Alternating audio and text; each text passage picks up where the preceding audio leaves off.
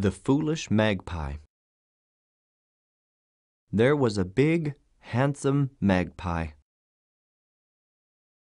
He was always ashamed of living with other magpies. How can a handsome magpie like me live with such ugly guys?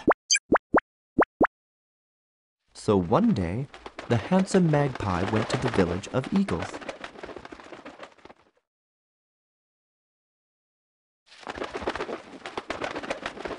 Great Eagle, would you kindly allow me to live with you?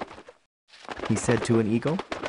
After hearing the magpie's request, the eagle examined him all over with his big bright eyes. What?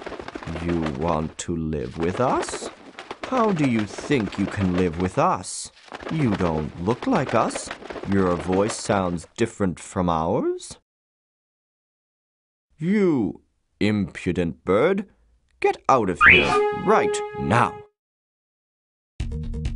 It seemed that the eagle was ready to peck the magpie with his sharp beak at once. The magpie escaped quickly and flew to another eagle. What?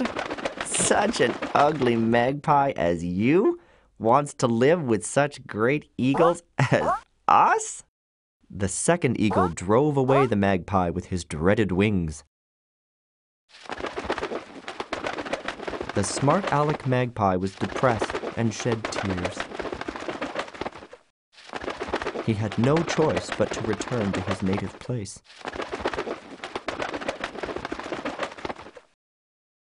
Pshaw! Why did you return impudently after leaving us on the grounds that you hated to live with us? Do you think we'll welcome you? Get out of here right now. Even his friends angrily drove him away. At last, the smart aleck magpie lived alone until he died.